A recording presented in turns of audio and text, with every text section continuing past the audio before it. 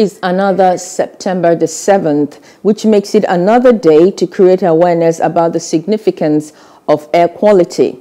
Every year, people die from diseases brought about by air pollution, a trend that has become a great concern in nearly all the places on the earth. Plus TV Africa Ngozika Hochesi looks at the issue of air pollution in Nigeria.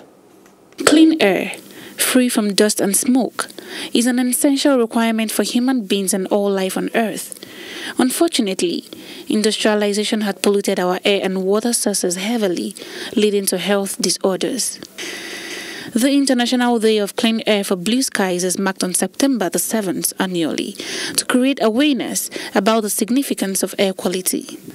Environmentalist Desmond Majekodunmi explains what we can do to keep our skies clean and blue.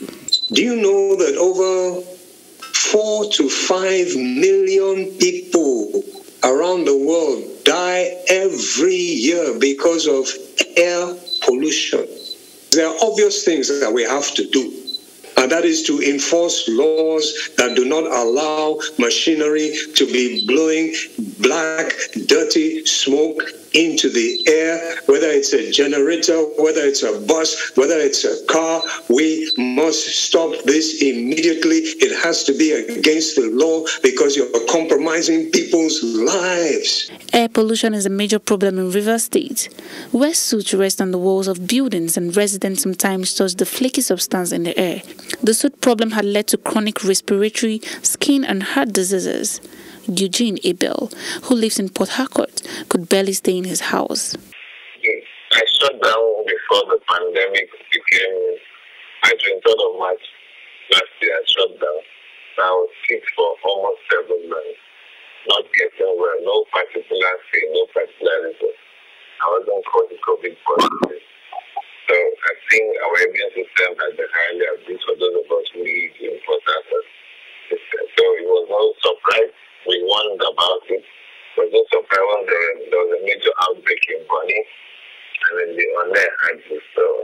A medical doctor, Baye Briggs, explained how deadly soot can be on human organs. The red blood cells have a higher affinity for carbon than for oxygen.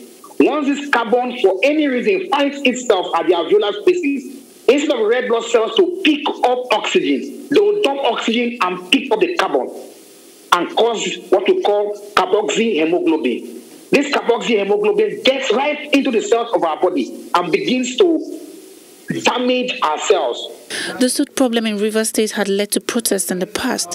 Globally, the United Nations is calling for strong international cooperation for research and collection of data about air quality and to find solutions to air pollution.